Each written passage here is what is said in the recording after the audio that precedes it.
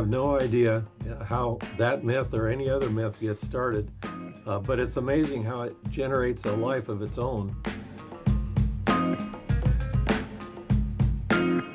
I got interested in love bugs when I moved from Arizona as a recent graduate at the University of Arizona to Florida for my first real job. And I was studying insect reproduction at that time. And what could be better than to arrive with all of these insects flying around reproducing? So I got interested in it. And I guess it just continued from there until now. Frankly, it's not likely or logical that you would select a love bug as a predator. They're plant feeding insects. They don't even have teeth, in other words, mandibles. So if you want to genetically modify something, eh, choose a predator like a dragonfly, you know, something that can really go after mosquitoes, which they do. But a love bug, that just wouldn't make any sense at all. And so, how could somebody come up with that idea? Eh, it's a little bizarre.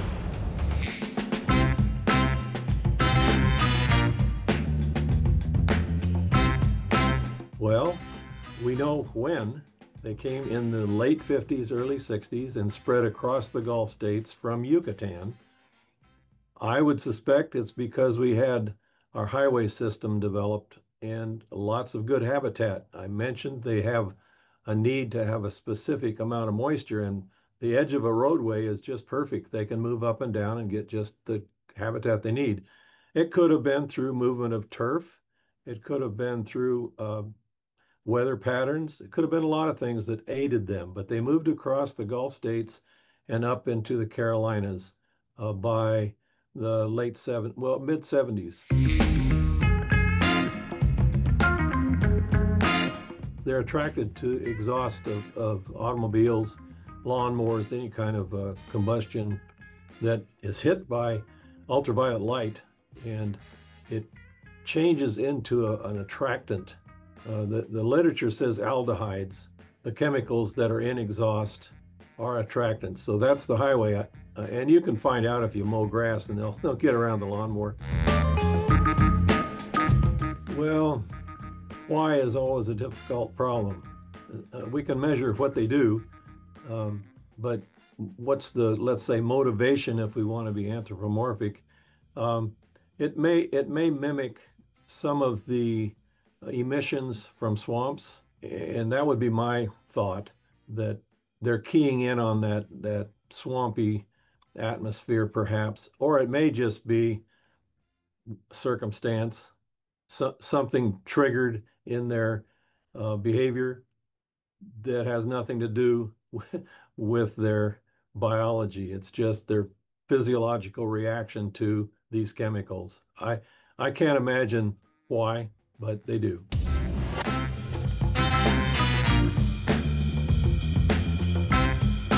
It bothered me that this myth was going around, so I tested it and uh, found out they're neutral. They're about 7 pH.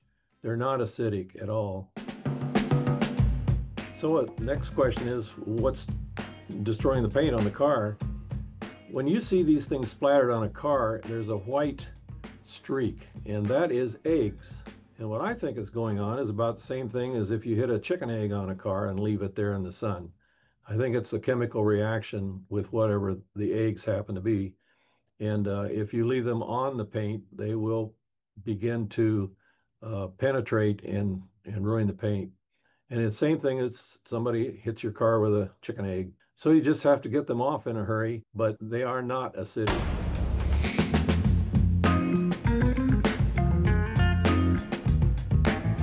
Not really. I recommend people use a fan, just a regular box fan on a patio, for example. These insects don't fly very well, so you can blow them away.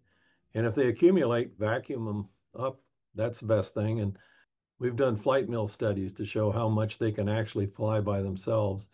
And it's not a lot. So they get up into the airstream and they're moved along by the wind. And it's uh, easy eh, to imagine that the wind blows up against a house and then you get accumulation of love bugs at the base of the wall. They're not necessarily attracted. They just arrive. But I will say that love bugs, like other flies, are attracted to light colors, uh, white, uh, light yellow. Again, they, they're really not hurting anything unless you've just painted a wall and they ruin it, which has happened to me. and so you can work around that through the seasons. Well, you know, I hope it's because people think we are really good at what we do and capable of doing something like that. We are, our faculty is phenomenal. So maybe people are, are just respecting us and saying that we're capable of doing things that nobody else can do. The males are really cute. Uh, they have big eyes.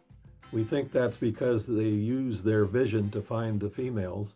You know, it's it's easy to to appreciate a butterfly or or perhaps a, a, a pollinator that you can see. They're bigger. Well, love bugs are just as cute as those insects and just as interesting. So I I just appreciate people caring about the natural environment and how things are in terms of the health of our insects and other animals. There's nothing that a love bug can do that'll harm you. They're related to gnats.